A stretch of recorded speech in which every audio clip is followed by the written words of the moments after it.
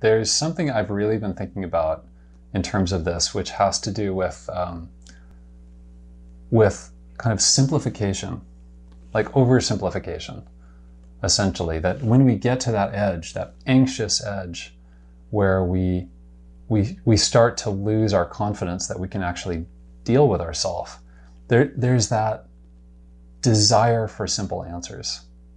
And the desire for simple answers in the mind takes the form of a kind of, you know, kind of sloppy thinking or a simplistic thinking. And we get locked in. We get locked into some set of ideas. Um, we were talking about, you know, toxic certainty. Some, and, and they're not always the same. Like it could be political or it could be, you know, philosophical. Um, you know, I, I don't know if I need to listen to these people because they don't match my philosophy.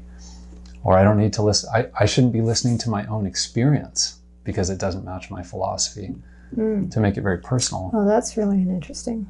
you know? But it, but it can take the form of even my ideas about um, whether or not I engage with this larger situation, whether or not I do self care, even that level of ideas comes in, says yes, no, maybe, and and tries to make it simpler than it actually Mm. is. Yeah, so the idea of oversimplification is, to me, one example of we use the metaphor of freezing. So, what is the open mind? The open mind is fluid. The open mind is the mind of wonder and curiosity and learning.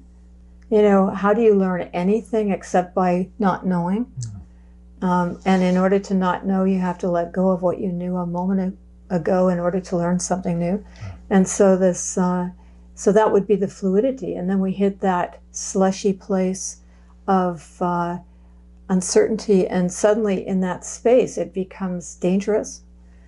And then, as you said, shutting down freezing involves oversimplification, ideology being the kind of it's sort of like the iceberg you want to hold on to Yeah. um, as a safe place. So we talked about those principles, and uh, that's how it works with the mind. Is uh, and it's this is why it's such an important balance: the balance between um, intelligence and curiosity. And and it's not as though we're we don't have an opinion or we don't have a view. It's the ability to be flexible and upgrade. It's like having in your computer, you have to be able to update the information. Yeah, right. So, this oversimplification, the ideological identification, tribalism, all the things we Mhm. talk about, um, will not allow for updating information Mm, because suddenly everything has to conform to a preconceived idea. And it's back to this idea that mindfulness is all about training to come back to the present moment. And if you really, what we do, what, what this mindful communication is teaching, is how to really put the present moment under the microscope and find out what does that look like. And present moment is an intelligent relationship to what is emerging and arising. And we feel that in our body. And because we're in our body, we allow to, we're able to feel that in our heart. We're able to feel present moment responses because we're embodied. And then the mind is able to receive that. So those three are completely coordinated. They're completely synchronized. And the, you know, the mind component of that is this capacity to be with what's emerging. And in order to do that, there has to be the willingness to be be able to be with the not knowing instead of always be clinging to what is known.